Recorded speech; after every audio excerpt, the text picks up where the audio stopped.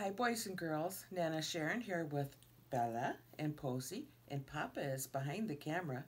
Today I want to read you a story, so let's sit down, fold our hands, and get ready to listen.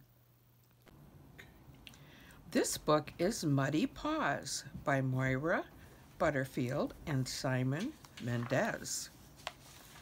It was a special day for Ben. He had a new puppy I'll teach you all the things I know, said Ben. But first I need to choose a name for you. I'll need to think hard about it. It has to be just perfect. I don't really mind what name you choose as long as you give me lots of cuddles, thought the new puppy. Ben looked around his bedroom to see if he could find an idea for the perfect puppy name. I'll look in my storybook, he said, but none of the names in the book were right for his new puppy.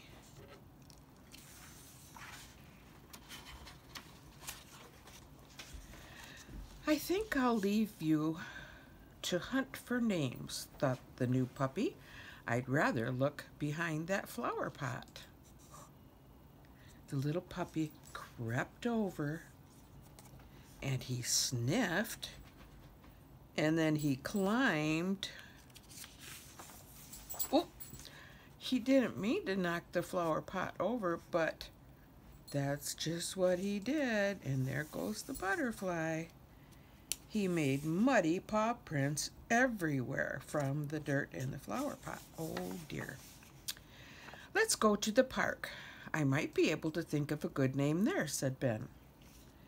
I'd rather look behind that tree, thought the little puppy. So he ran, and he ran. Ben is rushing along with him. He didn't mean to jump in the mud, but squelch, that's just what he did. He made muddy paw prints everywhere.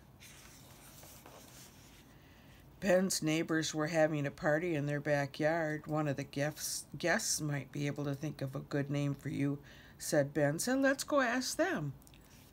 I'd rather look in the pond, thought the new puppy. So he leaned over and he leaned over a little bit more. Splash! He didn't mean to fall in the pond, but that's just what he did. He made muddy paws everywhere coming out of the pond. we better go home and clean you up, said Ben. I'd rather go digging in the backyard, thought the new puppy.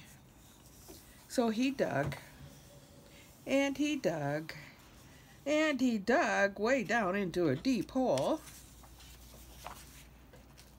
This time he found lots of things. A lost ring, an old wrench, and a toy car that Ben had lost.